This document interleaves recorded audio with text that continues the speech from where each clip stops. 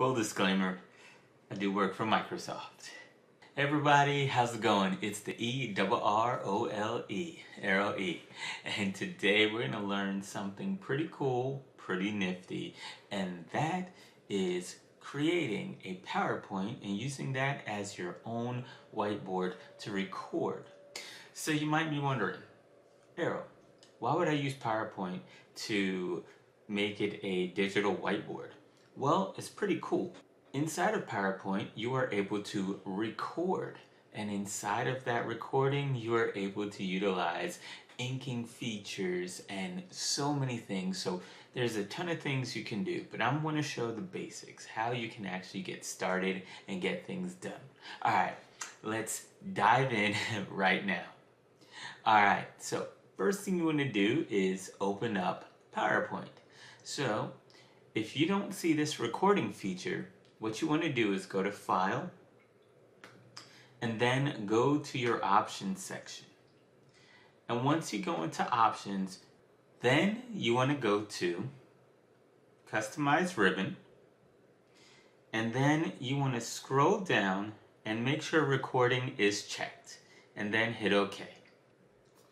Alright, so what I want to do now is go to Insert, pictures, and then online images. So now once I go here, I'm able to utilize Bing Images. So let's do a quick search, shall we? So I'm gonna look up chalkboard. And I'm gonna find a chalkboard. Nice thing is, they use Creative Commons, so I don't have to worry about infringing on anyone's copyright. But make sure you use this for personal use and not for commercial gain. Alright, so you can see right here that I'm going to choose this one and I'm going to hit insert. Now it's going to insert that for me. Now I have this awesome design idea one. Uh, I'm going to choose this one here. This looks pretty cool, pretty fancy. I like it. Alright, so now what I'm going to do here is I'm just going to control C. I'm just going to copy it to make different ones right here. So everything is good to go. All right, I really like the way this looks right here.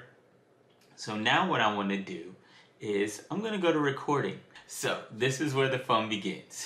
Ready? Let's dive in. let's click on it, shall we?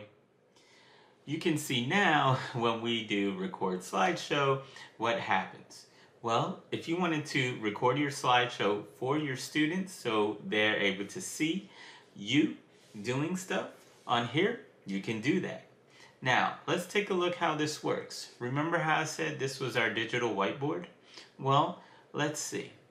We have our slide right here, but also we have all of our inking capabilities right here as well, including pens, highlighters, and your digital eraser. So, I'm going to click on pen. So I'm now going to choose a pen. Now imagine I'm doing simple math and I want to showcase how to solve 2 plus 2. So, you can be a teacher. You can hit record and say, Hello students, how's it going? My name is Mr. Ebanks and today we're going to have a lot of fun. We're going to be learning all about basic math. And within basic math, we're going to learn a few things. So, we might want to know, how do we do 2 plus 2? Now, if we think about it, 2 plus 2 equals what? Correct. It is 4. Now, what if we do something else?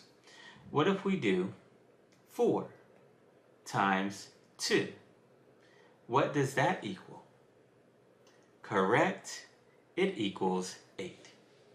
Now you can see, you can go over again and now you have an additional whiteboard that you are able to maybe do another math problem or solve for something and this will be a great way to show your students how you can utilize all of these features.